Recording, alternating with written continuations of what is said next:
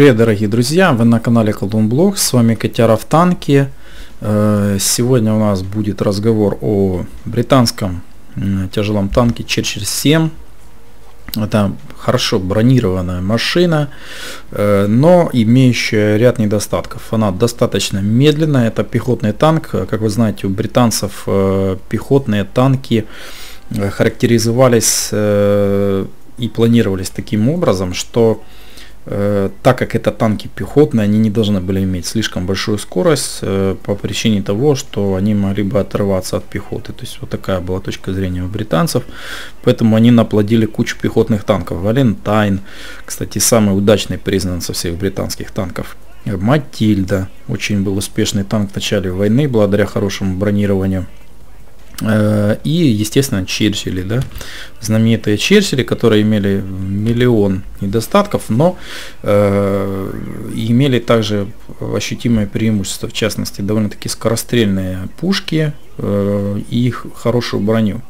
Именно благодаря вот этой хорошей броне британский экспедиционный корпус, э, частности в бронетехнике, понес намного меньшие потери, чем американцы, при высадке в Нормандии. Да? То есть американцам, кстати, э, британцы предлагали свои Черчилли для этой действительно масштабной и сложной операции. Ну, со свойственной американцам, американцам гордыни и чувством собственного, зачастую мало чем оправданного превосходства, они отказались и поэтому понесли там довольно-таки серьезные потери, потому что Шерман хоть и был неплохим танком, по крайней мере, на момент э, своего выхода, еще в течение где-то года, он был довольно-таки неплохим танком.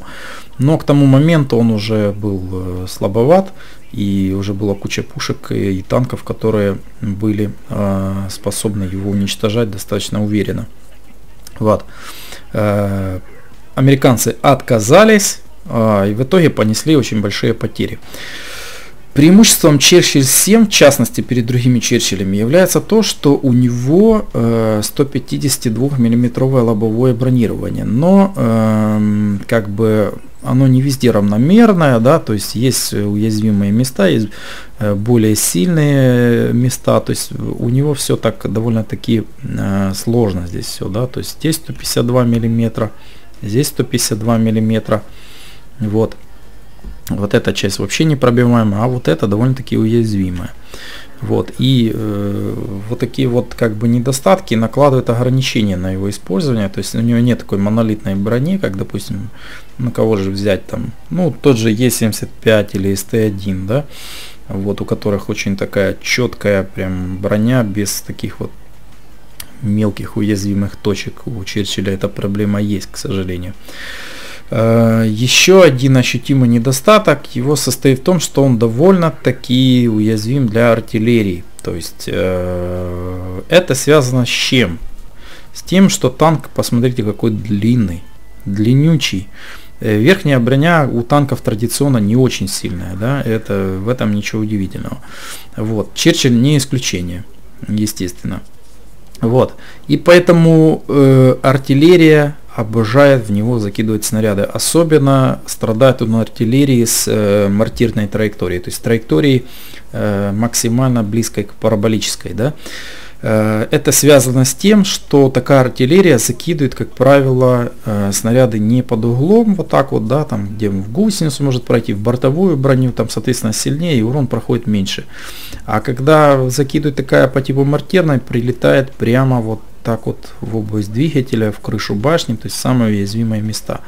То есть, э, например, чаще 7 может выдержать уверенном попадание от Хумеля, потому что Хумель бьет под таким вот углом примерно, он прилетит ему в борт и там, ну, снимет там хорошо 300-400 хп может быть иногда, но э, как бы это бывает редко, чаще всего там, если особенно стоит под бой, там вылетает 200-250 хп при попадании и ничего особо страшного. Но из-за того, что он очень э, такой вот уязвимый для таких вот, кстати, видите, как мы на катке разобрали Центуриона. Это, кстати, и плюс и минус данного танка. То есть у него есть пушка, не очень мощная, но очень скорострельная, достаточно точная. Ну, сейчас мы об этом тоже поговорим.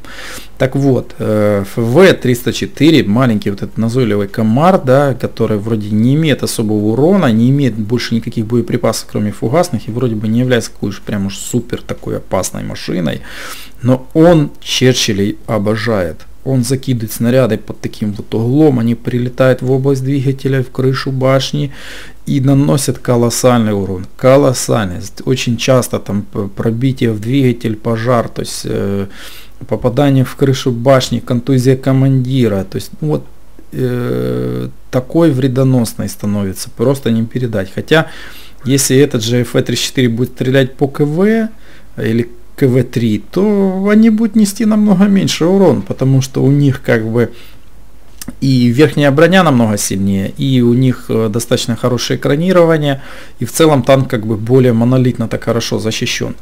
Вот такой вот парадокс, то есть получается менее э, высокоуровневый танк, как, э, допустим, КВ-1, несет меньше урона, чем танк более высокого уровня, как Черчилль. Сейчас мы, видите, прозевали Т-29, пропустили попадание в основание башни и очень сильный прошел урон и плюс крит э, поворотного механизма башни. Но здесь э, ситуация такая интересная сложилась, поскольку Т-29 тоже уже как бы не с самым большим запасом ХП, но он нас ваншотнет в любом случае, даже если у него не будет топовая пушка стоять, а 90 миллиметровка этого хватит. И вот видите, здесь вот э, особо четко виден недостаток э, какой-то уже по номеру третий или какой, э, очень плохие углы вертикальной наводки вниз. Связано это с тем, что танк, видите, какой длинный, да? Башня расположена посередине, и пушку вниз опустить нет никакой возможности. Вот, но здесь мы слишком назад сдали, уже заехать вверх не можем, поэтому приходится откатываться назад. Вот, в любом случае, видите, вот пушка вверх еще более-менее неплохо поднимается. Но э, если вниз, то никак. Слишком длинный корпус не позволяет наклонять пушку вниз хорошо. Поэтому вот такие машины, как Т-25-2, обгоняют нас многократно по этому показателю. В этом плане они чувствуют себя великолепно. Мы же с вами страдаем от ужасных углов горизонтальной наводки. Ну, собственно говоря, э, плохие углы горизонтальной наводки это проблема практически и линейки Черчиллей, и линейки АТ вплоть до э, появления такой машины, как АТ-15. Да, уже вот на АТ-15 углы горизонтальной наводки становятся э, великолепными просто и горизонтальной, и вертикальной. Все абсолютно там просто шикарнейшая э, с этим ситуация, связанная с тем, что орудие все-таки додумались разместить по центру, да, вот Т8 у нас слева пушка, у АТ7 справа, в общем, э, там все время они экспериментировали, британские конструкторы, и пришли к выводу, что все-таки посередине ставить более выгодно. Благодаря этому добились того, что э, пушка расположилась так в широченном корпусе АТшек, э, что ее можно было прекрасно перемещать как по горизонтали, так и по вертикали. Вот. К сожалению, с Черчиллями эту проблему решить не удалось. Вот. И э, ну, их, конечно, все время совершенствовали, внутренние модули там улучшали, э, пушки другие ставили. То есть, ну, если помните, то мы начинали там с совсем-совсем слабеньких пушек 75 миллиметровых, 57 миллиметровых, которых там альфа достигала э, аж 75 единиц урона, то есть ну очень маленькие, скорострельные, пусть, но очень-очень маленькая альфа. При этом довольно-таки неплохое пробитие, там порядка 110 миллиметров. Вот, пушки улучшали, то есть здесь у нас 77 QF Panther, э, калибр этот на наш переводя, по-моему, 8, 8 миллиметров, если я не ошибаюсь. Хотя могу и ошибаться. Вот, честно говоря, уже не помню. Но в любом случае эти пушки у нас установлены на э, кромвелях, на кометах. Вот, ну, с небольшим отличием, да, то есть э, более совершенная пушка, в принципе, они там все имеют примерно альфу 140-145 и пробой в районе 135-148 миллиметров. Э, разница лишь в том, что топовая вариация такой пушки имеет чуть более, в полтора раза более дорогие снаряды, но это оправдывается тем, что у этих снарядов выше начальная скорость полета, поэтому они быстрее достигают цели и ими легче попадать. Вот. Э, конечно же, на своем уровне этой пушки предостаточно, более чем она скорострельная, она точная, ей можно ставить на каток, противника никуда не может уйти. На крайний случай у нас, как видите, есть голда, которая пробивает более 200 мм. Ну, а бронебойный, конечно, тут э, под 150. Ну, альфа такая, как у немецких 75 миллиметровых пушек, в общем-то говоря. Разница небольшая. Правда, немцы все равно точнее немножко. Вот. Ну, как видите, сейчас ситуация такая, что все посливались э, успешно, очень успешно посливались так успешно, что можно прям медали раздавать за успешный турбослив. Вот, а мы тут уже думаем, ну что же терять, выезжаем, он Hellcat там ездит и начинаем ему накидывать снаряд за снарядом. Вот, как видите, э, используем мы, кстати, ПТ-шную э, раскладку, да, то есть у нас стереотруба, маскировочная сеть и досылатель. Вот сейчас, видите, вылетел один этот чудесный процент. Я вот просто думаю, когда уже этот разработчики этот бред уберут с игры. Они его добавили.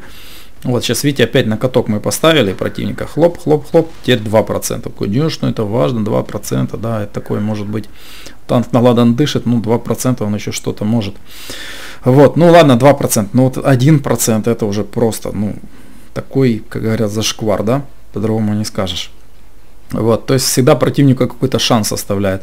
Ну, собственно, для нас это не очень большая проблема. У нас скорострельная пушка, и мы успеем его добить. А что делать тем, у кого там пушки типа D25T, у которых долгая перезарядка? Бабах влепил у противника 1%, пока ты перезаряжаешься, он еще может умудриться тебя разобрать. Ну, в чем логика, я не понимаю. По-моему, это глупое введение в игру. Раньше такого не было. Вот, и, наверное, это было правильно слишком много ВБР в игре стало, слишком много. Вот, видим BDRG1B, он нас тоже увидел, но мы, пока он там едет, успеваем сделать ему два попадания. Это преимущество данной пушки, даже мы сейчас третье успеем сделать. Хлобейс. И пошел парень в ангар. С большой дистанции, кстати, вот то, что я вам говорил, да, что э, как бы Э, что касательно Черчи, что касательно АТшек, АТ-8, АТ-7, АТ-15, Тортойс АТ-39, все они э, на больших дистанциях практически неуязвимы. Благодаря тому, что вот эти самые слабые места, они э, очень тяжело выцеливать их на больших дистанциях. Вот как сейчас, видите, сколько противники потом старались, и толком не могли пробить. Ну тут уже, конечно, зажали со всех сторон. Тем не менее, 4 фрага мы уже взяли. Сейчас еще надо попасть по Т-34, которая э, загородила нам благополучно наша артиллерия. О, да, конечно. Как обычно, да, целишься в нижний бронелист, снаряд уходит в гусеницу. Шикардос вообще, прекрасно. Ну и, в общем, э, на этом бой заканчивается. 5 фрагов мы успели сделать. Э, скажу так, что если бы мы здесь поставили противоскочный подбой, то, наверное, мы понесли э, урона на процентов 30 меньше. Вот, потому что много от попаданий было. Э, в любом случае, как видите, благодаря точности скорострельному орудию и достаточно неплохому бронированию, даже в таких критических ситуациях мы, даже если проигрываем, успеваем набить кучу урона и забрать нескольких противников. Так что Скажу так в заключение следующее, что данный танк для терпеливых игроков, то есть те, которые не боятся медленных машин, которые умеют на них играть спокойно, обдуманно. Это танк одного направления, и поэтому он требует продуманных ходов заранее. То есть вы должны знать четко, куда вы едете и зачем. Если вы будете правильно все планировать, если вы будете э, выбирать правильные маршруты и действовать последовательно и продуманно, то вам эта машина доставит море удовольствия.